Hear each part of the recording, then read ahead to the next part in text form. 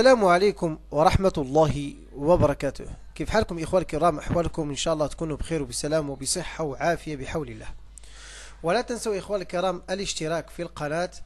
بارك الله فيكم لدعمنا آه، في آه، نشر العديد من الفيديوهات. آه، اليوم إن شاء الله سوف نتحدث معكم في موضوع يخص أرشفة جوجل أو مشكلة يعاني منها العديد من المدونين. وهي لماذا لا يظهر؟ آه، الموقع أو لا يظهر الموضوع في محرك جوجل يعني غير موجود ولا تأتي الزيارات من جوجل. إذا لا يظهر يعني لا تأتي الزيارات من جوجل. فهنا يعني العديد من الأسباب التي تجعل الموضوع لا يظهر. وسوف نذكر لكم آه، الأسباب آه، يعني أو الطرق لجعله يظهر وتأتي آه، آه، الزيارة من جوجل بحول الله.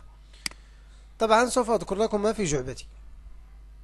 يعني ما أنا خبير فيه سوف أذكر أذكره لكم إن شاء الله.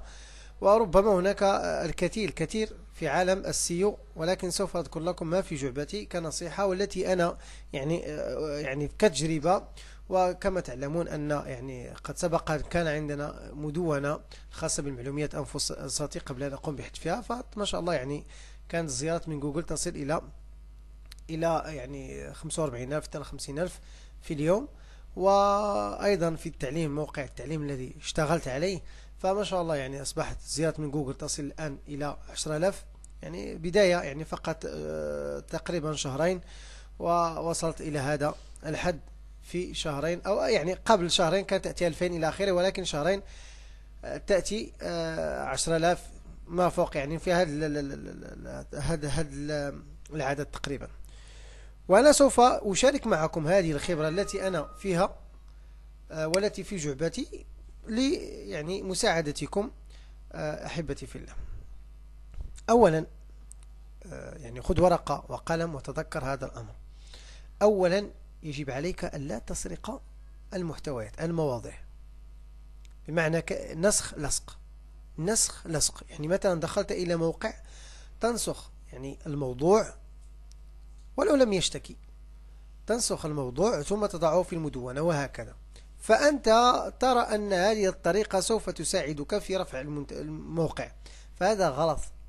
لأن جوجل لديها ربوات تكتشف ذلك تكتشف النسخ واللصق وتتعرف على تاريخ إلى آخره ثم بعد ذلك تنزلك إلى الأسفل.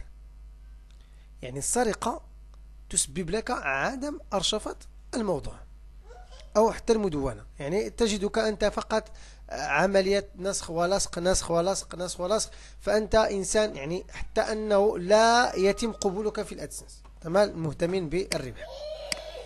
تمام؟ أيضا آه الأمر الثاني والذي أصبح مهتم به جوجل في هذه السنة وهي جودة المحتوى. يعني تعرف أن تحافظ على جودة الموضوع.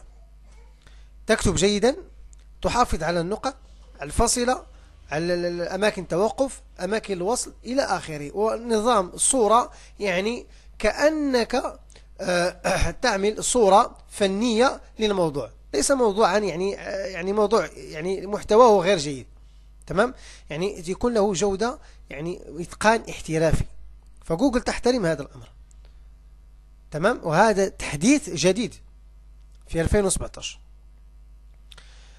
ثالثا الكلمات الدلالية. قد تحدثنا وتحدثنا وتحدثنا في العديد من الفيديوهات عن كلمات الدلالية وكيف يتم إتيان بها إلى آخره. وسوف أضع لكم رابط الموقع الخاص بجوجل أدورد في أسفل الفيديو كي آه يعني كي تأتي آه، يعني كي يعني تجلب الكلمات الدليلية. يعني سوف أضع لكم القناة في الأسفل لمشاهدتها وفي تلك القناة يوجد رابط كذا. الكلمات الدليلية هي الكلمات التي يبحث عنها الناس كثيرا في محرك جوجل. فأنت سوف تستهدف هذه الكلمات الدلالية بمعنى سوف تكتب مثلا نقول مثلا كلمة تحميل برنامج. الملتيميديا لا يبحث عنه أحد. ولكن حين تكتب تنزيل برنامج ملتي ميديا تجد أنه عليه طلب أكثر. فأنت سوف تستعمل هذه الكلمة الدلالية. تمام؟ فهذه تسمى بالكلمة الدلالية. فسوف أخذ هذه الكلمة الدلالية ولن أكون متهور. كيف؟ بمعنى سوف أخذ هذه الكلمة الدلالية اللي هي تنزيل مثلا برنامج multimedia سوف أضعه في المدونة. تمام؟ ولا يعني في الموضوع كله لن أكتب مثلا آه، تنزيل برنامج multimedia تنزيل برنامج تنزيل تنزيل تنزيل تنزيل لرفعه لا هذا جوجل يكتشف هذا الأمر وينزلك إلى إلى الأسفل. إذا إذا أردت أن تحافظ على الكلمات الدلالية وتعطي لها قيمة ورفعها في محرك جوجل. يجب عليك أن تكتب مثلا مثلا 400 كلمة. 400 كلمة نعم 400 كلمة. ولو وجدت أن تجعل هذه 400 كلمة كلها كلمات دلالية يكون أحسن. تمام؟ ولكن نقول موضوع فيه كلمة 400 كلمة. وهذه 400 كلمة لا تخرج عن مجال ال multimedia مثلا. تحدث عن ال multimedia إنه البرنامج كذا وكذا وكذا وكذا وكذا وكذا وكذا وكذا. تمام؟ فأنت يجب عليك الحفاظ على هذا هذا القسم بال multimedia سوف تضع في مئات كلمة كلمة واحدة كلمة دلالية بمعنى مئة كلمة تضع فيها كلمة دلالية.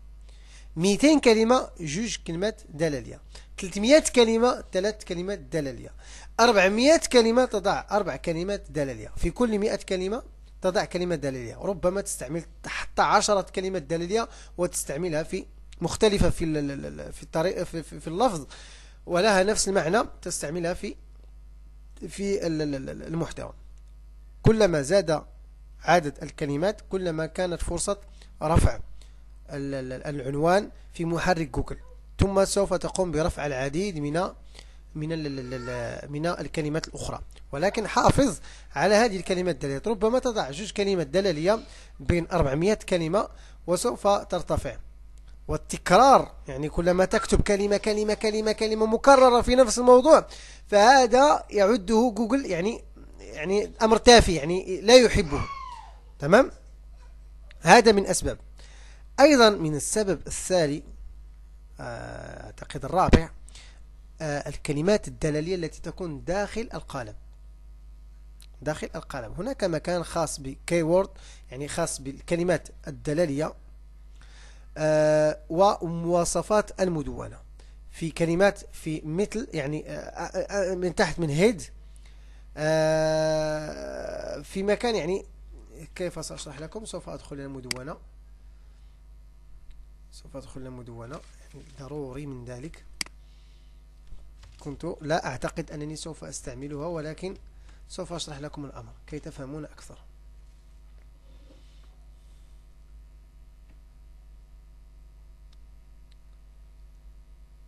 سوف أدخل إلى مدونة تجريبية. آه، مدونة تجريبية. هذه مدونة أستهدف بها الجزائريين وما شاء الله يعني تبارك الله. آه، سوف أجرب مثلا آه، آه، واحدة تجريبية لأنني أضع بعض الحاجات التي لا أريد إظهارها.